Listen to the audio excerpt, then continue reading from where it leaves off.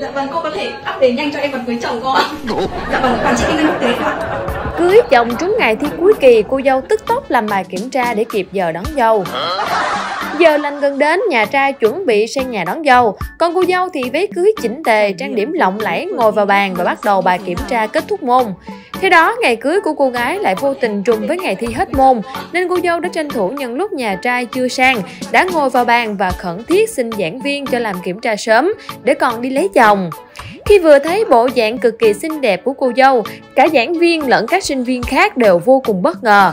Đồng thời cũng gửi những lời chúc ngọt ngào đến cô gái vừa thi tốt, vừa có cuộc sống hôn nhân viên mãn. Em cảm ơn cô ạ. Dạ vâng, em cảm ơn cô ạ. Buổi thi sau đó đã kết thúc trong sự thành công ngoài mong đợi và cũng kịp giờ để chú rể sang nhà đón nàng về dinh. Kỷ niệm vừa cưới chồng vừa thi kết thúc môn của cô gái trong đoạn clip trên đã khiến cho nhiều người không khỏi thích thú.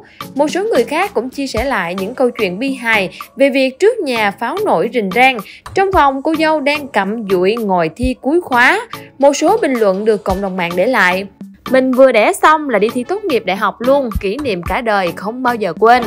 Tôi vừa ăn hỏi vừa chạy đi thi, vội quá nên xách cả túi áo dài lẫn cái mấn vào lớp. Thầy giám thị hỏi lớp này hôm nay có tập văn nghệ gì đúng không?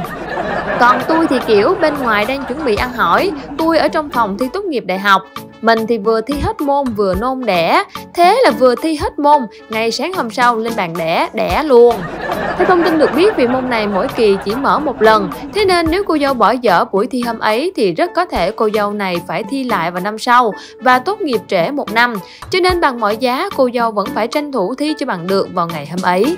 Cảm ơn các bạn đã quan tâm theo dõi. Đừng quên đăng ký kênh Tin 3 Phút để cập nhật tin tức nóng hổi mỗi ngày.